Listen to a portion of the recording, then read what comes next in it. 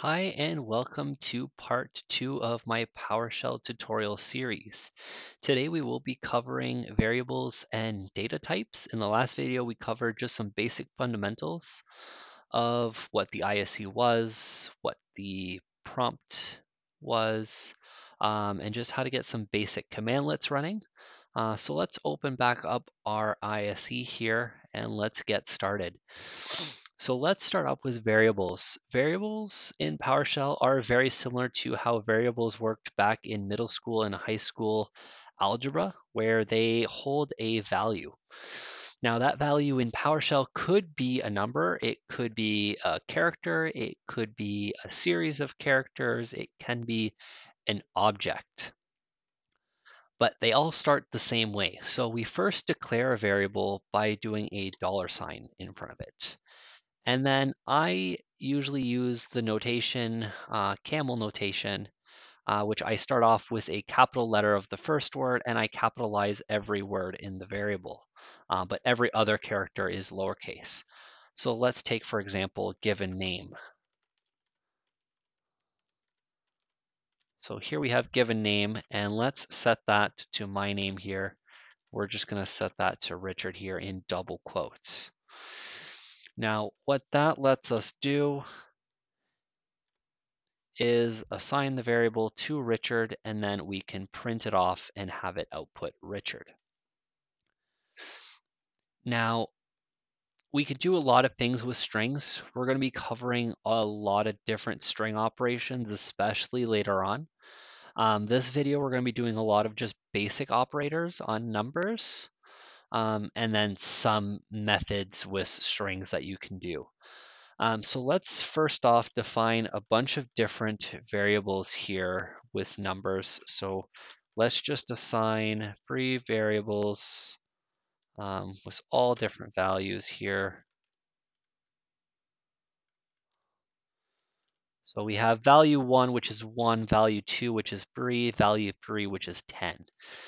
It's a little bit confusing, so let's actually change value 3, value 2 to value 3 for free, and value 3, which is 10, to value 10, just so we have a little bit easier time understanding here.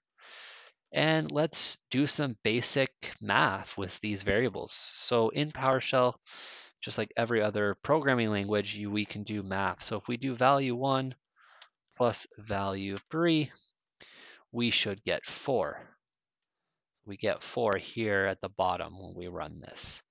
And we can actually store this vari uh, this result into a variable. So let's call this variable result equals value 1 plus value 3.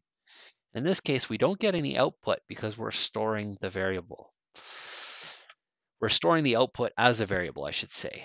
So now if we go ahead and look at what's inside result, we see that it is 4. So it did in fact work. Now you're not limited to adding. We could also uh, multiply, divide, and mod. Um, I call it modular operator. Um, what that really is, it's the leftover of a division operation. So what we're going to do is we're going to take our value 10 here, and we're going to modular to the value 3. So what this basically means is take 10 divided by 3 and give me whatever's left over. So we know that 3 goes into 10 three times, which is 9. So the difference between 9 and 10 is 1. So we should get 1 as an answer here. And we do. So all these different math uh, um, variables are very, very useful for different types of operations, some logic operations, some conditional statements uh, that we'll be doing later on. But let you know that you could do some math. Um, if you're a finance guy and you need to go through some Excel sheets or some CSV sheets, um, even though Excel does have a lot of that power built in, uh, you could use PowerShell to kind of integrate that put it into a database or create an HTML report based on that, or do some other things um, that you could automate through PowerShell that maybe you couldn't do through Excel. Now, there is a few things in PowerShell that make variables slightly tricky if you don't quite know what to expect. So let's create a variable called new variable. I can spell properly. And we are going to go ahead and not set it to anything. We're just going to run it. And we see that we don't get an error. Most programming languages, pretty sure all of them, other than PowerShell, I, I could be wrong, uh, would typically give you an error saying that there's nothing assigned. Now, PowerShell doesn't give you this error. It just reads it as a null variable, which we're going to be going over that in just a little bit. Um, but in PowerShell, if you don't set a variable, it gets defaulted to that null variable. Now, there is a way that you can set it to a more stricter what you would expect option, uh, which that is just the commandlet set strict mode and then version and then latest. If you run this commandlet and then we try to run this new variable, we're going to see that we get an error now saying that the variable, new variable, cannot be retrieved because it has not been set. And now if we go new variable equals one, let's just delete this line here. Let's set that and then let's go ahead and let's try to retrieve it. We can see that we get the value of one. So I like to set strict mode on, especially if I'm working on some code and there's something that's just not working properly. I like to set it before that even happens. Uh, but sometimes if you just forget to set the strict mode on and you're going through some loops and some code and eventually your end result is not what you were expecting, maybe there's a variable in there that's still null or doesn't have the value you would expect. So setting strict mode definitely helps uh, debugging your code eventually, uh, depending on how complex your code is going to be and what you're doing to it. I like to just show it. This way you have it at your disposal. And if you turn it on and you find it annoying and you don't like it, to turn it off, you could simply do the set strict mode to off. And now if we do new variable two, which hasn't been set up yet, we see that it works. Um, so it just doesn't give us an error, which is what we would expect in regular PowerShell. So we are good to just keep going. Now there are a bunch of different data types, obviously, like you see that we can use in PowerShell. We have some numbers here, we have a name here, um, and we can even have some decimal values. And like I said earlier, uh, there's going to be some different objects that we can manipulate, like Active Directory objects, computer objects. Uh, there's a ton of different objects in PowerShell. Almost everything in PowerShell is an object. Um, I just don't want to say everything because I believe that if you set something to an integer or a double, you don't really get that object out of it. It's pretty much just a value. Um, and we're going to be seeing that in just a few moments. So if we want to see what type of data our variable is, we can simply go look at our dollar sign given name, and then we hit dot. Now, by putting in a dot, we're going to see tons of different methods and properties that are available for this object. And one of them is get type. I'm just going to hit tab here to auto-complete, and then we are going to close off the parentheses, and we are going to run this line. Now here we can see that it is set to a string. So a string is just basically a set of characters, a sentence, a name, paragraph. Could be really almost anything. It could even be numbers as long as it's in double quotes or single quotes, it is a string. Um, and now if we do the same get type on our value three, let's say, we see here that it is an integer, a 32-bit integer. Now, a 32-bit integer could be positive or negative, but it will only be whole numbers. So 1, 2, 3, negative 5, 10, 1000, but it will never be a decimal value. So it'll never be 1.2, 1.3, uh, 0.01. It doesn't handle those values. That is what's called a double. So a double would be if we set up a variable here called double value, and we're going to set that to 3.2, and then we're going to go ahead and do the get type on it. We see here that it is a double. Now this will be your 1.0, 1.01, 2.1, 2.6, negative 1.7, 1.11111, all the way to the end. Basically almost any number you could really imagine, it'll be a double. Most cases you will probably use doubles more than integers, uh, unless we're getting into conditional statements uh, potentially. Even then, I think doubles are probably more so used. Um, on, like I said, you still could use integers um, if you have some basic uh, conditional statements or some logic statements.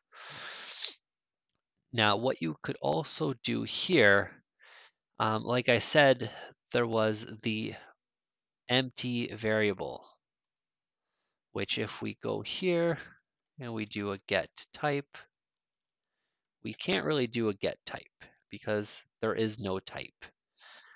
But what it is, is if we do a dollar sign, see here, if I do a dollar sign null, it is already auto-completed. This variable is built into PowerShell as an empty variable. So if I run it, it runs fine, it's empty, it's good. But we also have this the strict mode set to off. So let's set the strict mode back on here just to see. And we can see here if we run new variable 2, we get an error because it hasn't been set. But if we run null, we get no errors. This is because in PowerShell, null, dollar sign null is a built-in variable representing empty. So we can always use this in our conditional statements or logic statements to basically check if something is equal to null. So if something is empty, then do this. Or if something is empty, then don't do this. Because if we have the strict mode turned on, we can check if it's null. And if it's null, then we don't want to do anything to it because we want to avoid errors. And then we could do something else to potentially set up that variable to then do something else later on. So let's just put this variable up here. And then what we're going to be doing is there's one other data type that I want to show, which is the Boolean uh, data type. There are other data types, but we're going to be covering those in a different video. But the Boolean data type is a true or false uh, data type. So let's see here. Let's create a value, a variable name um, called employed, and we're going to set that to true. So if we run this here, and then we go employed dot get type, and we run this here, we are going to see that it is a Boolean value. Now, Boolean, like I said, is only true or false. So again, very, very useful for uh, conditional statements or logic statements. And we can get to Boolean values by even doing uh, math operations. So if we have, I call it math operations, but really it's more of a conditional statement or logic statement, like I've been saying. Um, so if we do a value one or value three, and then we're going to do a dash EQ for equals in PowerShell. We're going to be going over some of these other parameters uh, in another video as well, but we're going to be just comparing value 3 to value 10 and seeing if they're equal. We can see that this gives us false because 3 is not equal to 10, and we get the type and we see that it is a Boolean value. So we can get Boolean values multiple different ways. So we can always check if something is true or false um, using these types of statements. Now that covers um, all the data types that I want to get into today. Um, there are other variable types uh, like arrays, array list, hash tables, and then every other object that you can really get out of commandlets. And that brings me to my next point here of being able to store your commandlet output into a variable as the last thing in this video. So yesterday we saw commandlets like get date, which gets us the date. So let's just run that commandlet again here. And we see here that it is Wednesday, April 21st, 2021 at 5.35. So here, if we do a variable called today and we do get date and we run this, we get no output because we store the output into our variable. And then if we reference our variable today, we get today's date. And then if we do get type on this, you will see that it will be a date time um, variable or date time data type. that is the data type that we get back from get date. Now there are a bunch of data types, like I said, the major ones that you're really going to be working with a lot of the times are going to be integers, strings, booleans, and then what I'm about to cover in the next video, array, array list, and hash tables. Those will cover pretty much everything you will really ever create manually, probably um, unless you start creating your own objects. And that's it for tutorial two. I am going to see you on the next video.